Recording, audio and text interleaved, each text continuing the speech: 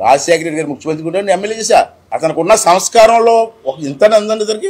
రాజకీయాలు వేరు పరిచయాలు వేరు. ఇదేంటి నాకు అర్థం కాదు. కక్ష సాధింపు చర్యలు. ఏంటి? దీనివల్ల నీకు ఉపయోగపడేది ఏంటి? నువ్వు ఏం సాధించావు? ఏ వర్గం నీతో ఉంది?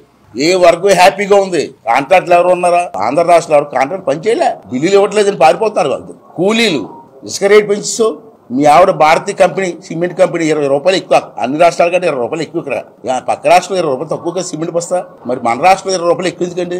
భారతి గారి కంపెనీ అయినా ముఖ్యమంత్రి గారి ముద్దుల భార్య గారి కంపెనీ అయినా ఇరవై రూపాయలు తగ్గించి చెప్పచ్చు కదా మీరు సిమెంట్ లేక ఇసుక లేక పనులు లేక యాభై ఐదు లక్షల మంది కూలీలు ఈ రాష్ట్రం నుంచి వెళ్ళిపోయి తెలంగాణలో కూలి పని చేసుకుంటారండి. చెన్నై తెలంగాణలోనే. ఏంటంటే కర్మ? మీ చేతకంతరం కదా? నాకు ఉచితం అంటే అప్పటి నుంచి ఇప్పుడు నుంచో బీసీలందరూ కూడా తెలుగుదేశం పార్టీలో ఉన్నాం. మా తరం పనిచేసాం మా తరం తర్వాత మా పిల్లలు కూడా తెలుగుదేశం పార్టీలో పని చేస్తున్నారు. ఇంతకు మనోడు చెప్పాను మా పిల్లలే కాదే మా మనోడు కూడా లోకేష్ కొడుకుతో పనిచేస్తారు రాబోయే రోజులు అని చెప్తున్నాను అది మా కమిట్మెంట్ మాలాంటి ఎక్కడో దూర ప్రాంతాల్లో పల్లెటూరులో పుట్టి అనామకులుగా ఉన్న మమ్మల్ని తీసుకొచ్చి రాష్ట్ర స్థాయిలో నాయకులు చేసింది నందమూరి తారక రామారావు తెలుగుదేశం పార్టీ. ఆ పార్టీకి రుణపడి ఉండవలసిన అవసరం మేము. మా జాతి కోసం మా వెనక వెనకబడిన జాతుల కోసం చేసినటువంటి కార్యక్రమాలు మాకు ఇప్పటికీ కళ్ళ ముందు కనబడుతున్నాయి. చెయ్యాలి. మీ ద్వారా నేను ఇచ్చి పిలిపి ఏంటంటే మా తరం చేసాం మా పిల్లలు కూడా పార్టీలో పనిచేస్తున్నారు. ఇప్పుడు ఈ తరం వాళ్ళు చాలా మంది పార్టీ అంటే తెలియదు. పార్టీ తల సిద్ధాంతాలు తెలియదు. మన కుర్రవాళ్ళు చాలా మంది చదువుకొని ఉన్నారు.